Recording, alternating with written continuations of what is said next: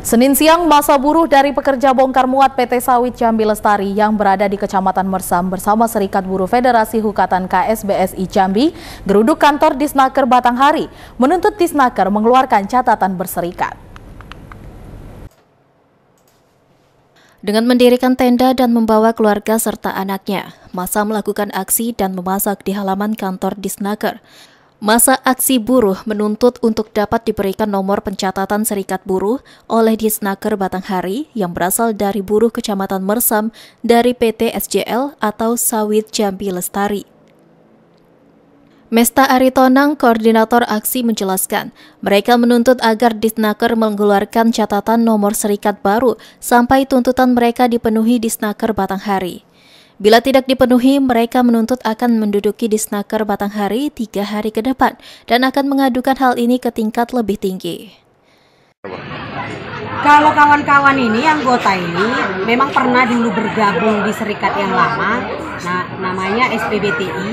Tapi karena kata di Snaker itu tidak sah, kawan-kawan ini sudah mengundurkan diri dari sana dan itu sudah kita sampaikan ke pihak di Snaker Batanghari tapi sekarang nggak tahu kita alasannya apa.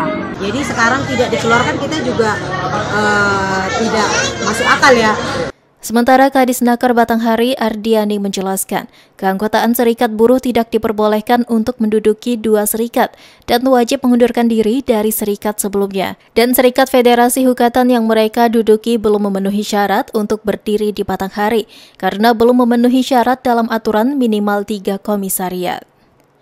Belum dikeluarkannya nomor catatan berserikat, Ardani yang tidak mau melangkahi aturan perundang-undangan bila mereka merasa belum puas, Ardani menyarankan untuk diputuskan.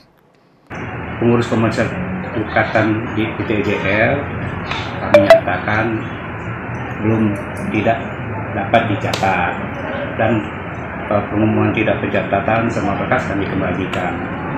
Dan apabila mereka itu merasa tidak puas dari pelayanan mereka punya hak untuk mengajukan di uh, pengadilan pengadilan atau usaha negara diputuskan pusing itu belum diakui mengundurkan diri oleh pengurus SPTN SPTCN Provinsi Jambi.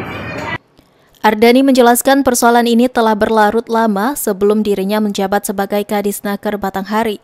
Namun beberapa kali dilakukan mediasi dan solusi, mereka tidak mau untuk mengikutinya.